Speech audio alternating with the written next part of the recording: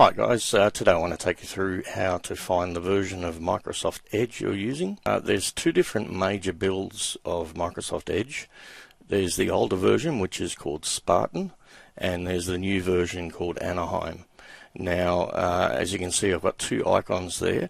So if you have the uh, icon on the right, the blue and green swirly icon, then you're running the Anaheim version, which is the latest version, and I'll show you how to check the version of that in a minute. If you have the white E in a blue square, uh, you're running the Spartan version, which we'll do now.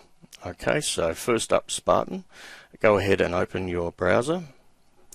And then top right hand corner you'll see the three horizontal dots. We want to click those and then just click settings.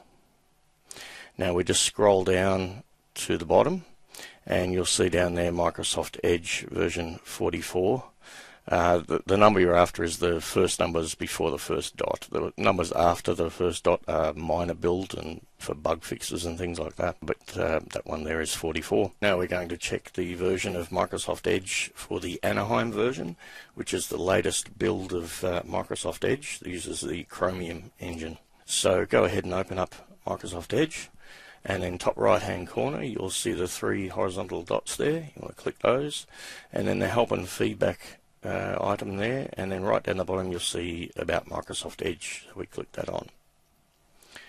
I'll just uh, magnify this a little. Uh, right so the version right there is version 83 uh, the numbers you're after are the first two before the first dot.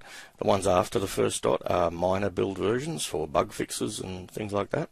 You may also want to note that it's an official build and that it's 32 or 64 bit pretty easy. Uh, any questions or comments, leave them below, and I'll catch you next time, guys. Cheers.